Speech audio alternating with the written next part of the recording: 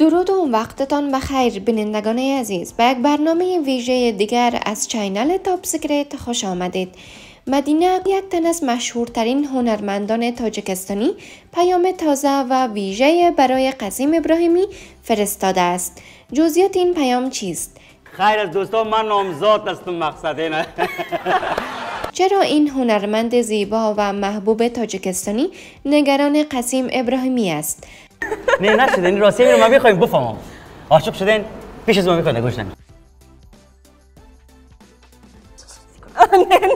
خب صحیح است. اگر می‌خواهید تا از جزئیات این موضوع آگاه شوید پس تا آخر این برنامه با ما همراه باشید. اما قبل از آن لطفا ویدیو را لایک نموده و channel ما را subscribe کنید.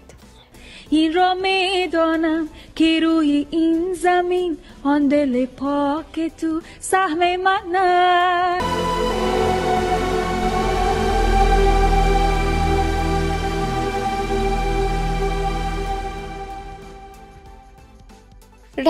قسیم ابراهیمی به کابل تحت کنترل طالبان نگرانی ها و خوشحالی های زیادی را به همراه داشته است. زمون بنا زمون تن وطن افغان وطن آن عده از شهروندان کشور که در داخل به سر می‌برند از رفتن قسیم ابراهیمی به کابل خوشحالند و امیدوارند که این کمدین مشهور و محبوب کشور بتواند با تولید و انتشار برنامه های تازه لحظات آنان را شاد کرده و خوشی ها و خنده ها را هرچند برای مدت کوتاه به آنان هدیه نماید. قربان موترهای زریتون استاد یک موتر دارم من در مقابل ادهی هم نگران شدند که مشکل برای قسیم ابراهیمی پیش نیاید و وی بازداشت زندانی و یا حتی ترور نشود.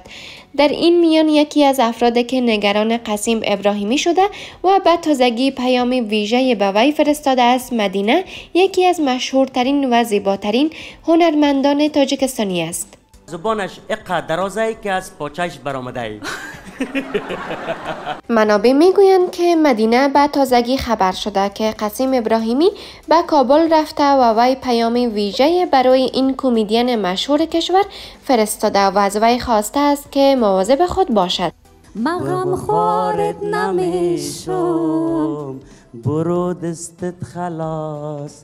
کارت ندارم مدینه در این پیامش از قسیم ابراهیمی به عنوان بهترین کمدین و هنرمند افغانستان یاد کرده و افزوده است که قسیم یک جوان بسیار معدب، جسور و خوش اخلاق بوده و یکی از سرمایه های افغانستان می باشد.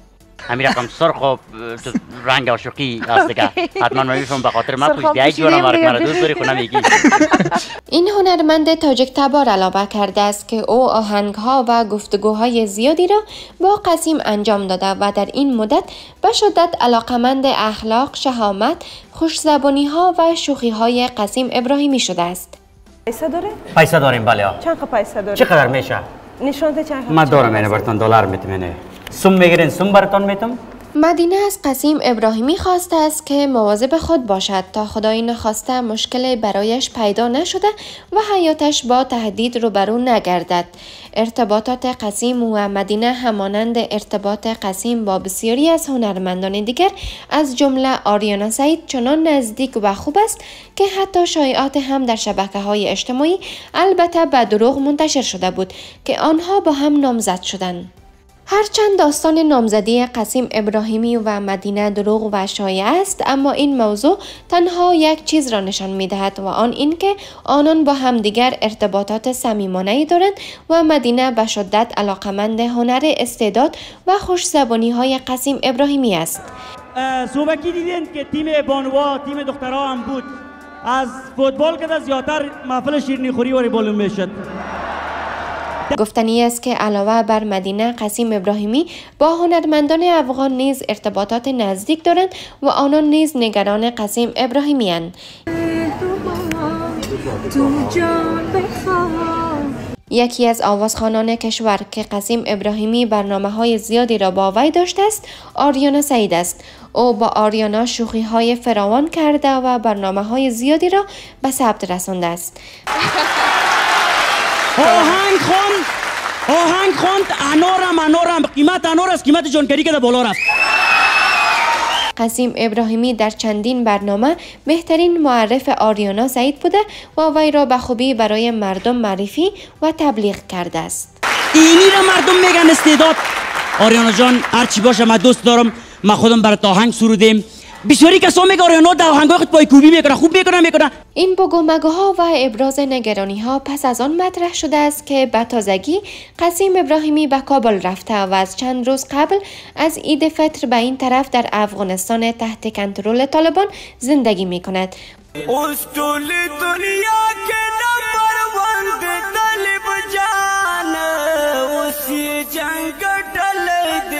وی در شبهای عید برنامه رو در رو را اجرا کرد و این موضوع با استقبال مردم و از جمله اشتراک کنندگان این برنامه روبرو گردید. یکی از اشتراک کنندگان این برنامه گفت که عید وی و مردم افغانستان با آمدن قسیم ابراهیمی دو عید شده و همچنین سلیم پیگر یکی از چهره های سیاسی کنونی افغانستان گفت که وی تنها به احترام قسیم به این برنامه رفته و در آن اشتراک کرده است. از خاطر شما خاص راست آمدیم قربان شما. به افتخار پیگیر صاحب یک کف محکم بزنین. قسیم ابراهیمی اما در آخرین برنامه رو در رو در شبهای عید گفت که با این برنامه خداحافظی می کند و این برنامه را شمس رحمانی به پیش خواهد برد.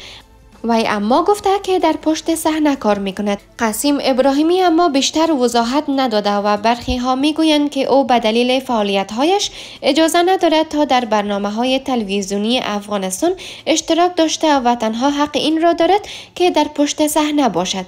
اما ادعی هم می گویند که وی به زودی با برنامه تازه علاقمندانش را سپرایز خواهد کرد و باز هم با جوک ها و خنده هایش مردم را شاد خواهد کرد. هرچند به دنبال خداحافظی قسیم برخی از گفته های نیز مطرح شده که وی کشور را ترک کرده ولی معلومات ما نشان می دهد که وی همکنون در کشور است و کشور را ترک نکرده است.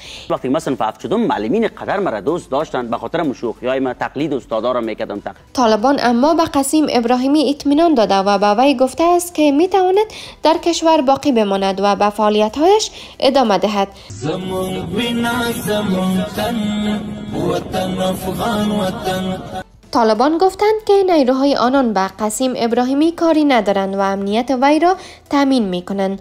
کاربران طالبان در شبکه های اجتماعی نیز از رفتن قسیم ابراهیمی استقبال کرده و گفتند که این موضوع نشان می دهد که افغانستان آرام شده و مردم می توانند به راحتی رفت آمد و نشست و برخاست نمایند. دوستان عزیز به پایان برنامه کنونی رسیدیم. شما نیز دیدگاه ها و برداشت های خود را با ما در میان بگذارید. تا برنامه های بعدی الله یار و نگهدارتان باد.